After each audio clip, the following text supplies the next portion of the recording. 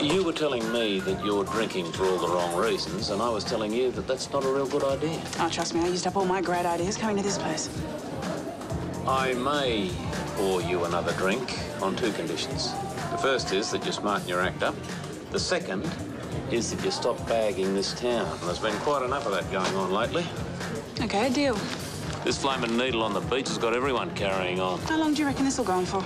As long as the press keep their foot on the accelerator and the way they're going, who knows?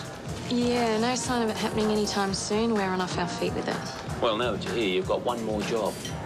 Make sure she behaves herself. So I need to call for backup. I would. One drink, I promise. I've seen you around, but I don't think we've actually met. I'm Charlie. Uh, Bianca, Charlie, Ruby's mum, Yes. the police officer. Yes, again. Right. Um, can I have a seat while I wait for my boyfriend? Of course. I'm just gonna get a white wine, please, Elf. Yeah, sure enough. Thanks. Charlie, can I ask you a police-related question? Go for it. Is it possible to take out an AVO on someone who's being really annoying? Ah, well, that depends if they're being threatening and really annoying at the same time. And by the way, you're looking at Liam. I'm assuming he's the one who's in danger? He's safe, for now. I've only ever hit a guy once. Do I really want to hear this? I just found him in bed with another woman. Oh, classy. Yeah, I'd like to think he was. But that doesn't matter when you turn out to be untrustworthy. Or arrogant.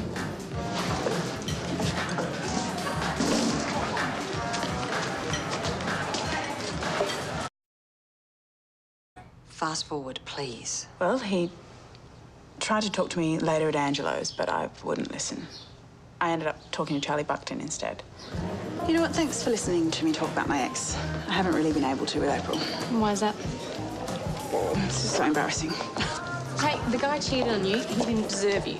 No, it was more the other way around, according to his parents. They never thought I deserved him. They just thought I was something he picked up on holiday.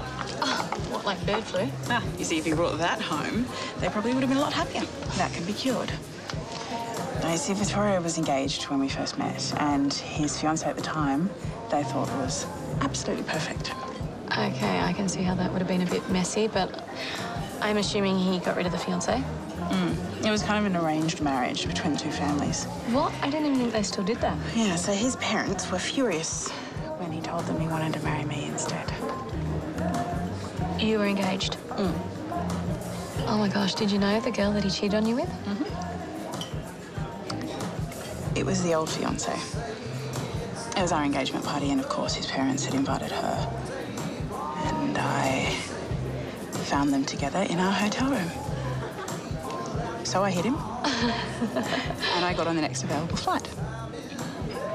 He always said that his parents' opinion didn't matter to him, but in the end, it mattered more than me.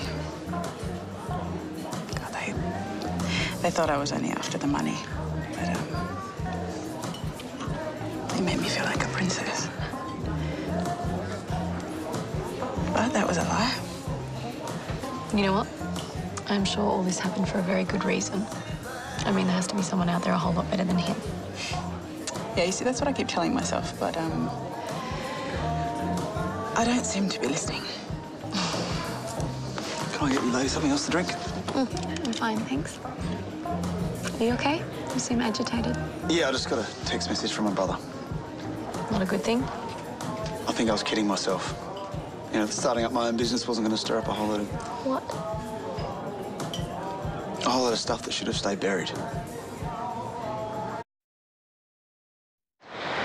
know, I hope you don't get offended by this, but I'm starting to feel a bit like a stalker, hanging around Angelo's every night.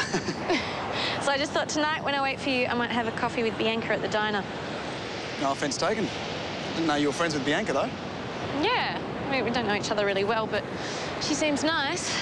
A lot nicer than the impression Ruby gave me. I guess that's just a student-teacher thing, though.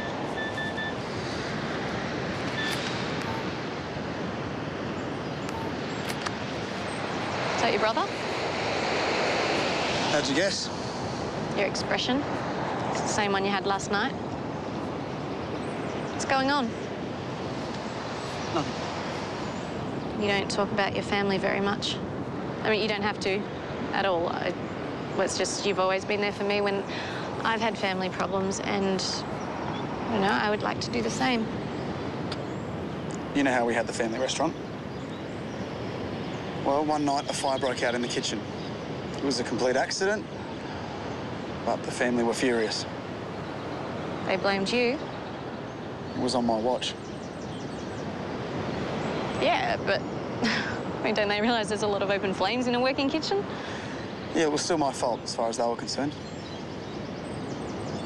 I was supposed to take over the place too. Yeah, it was going to be mine. But then the fire happened. Then my younger brother Paolo happened. He came in, took over the whole business, and I had to start looking for a new career. So if you want to know why it took me so long to get into the restaurant industry, then there's your answer. I mean, it seems like they're texting you a lot now. Maybe they're trying to make amends. Yeah, well, it's a bit late for that.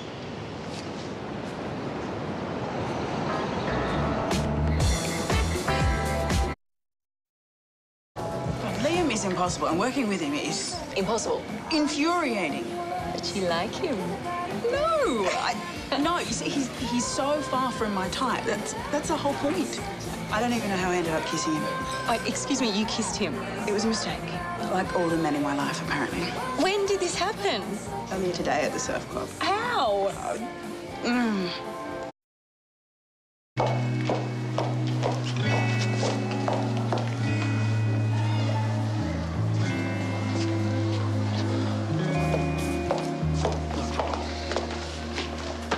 You okay?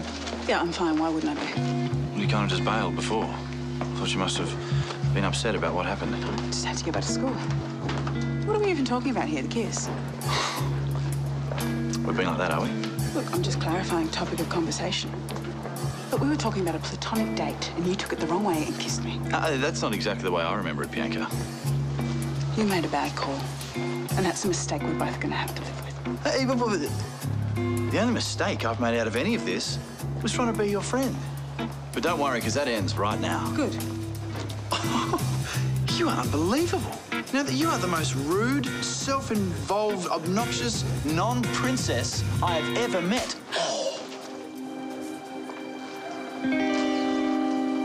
What was that for? Why don't you keep your stupid opinions to yourself? Okay, when I asked what happened, I was not expecting that. Join the club.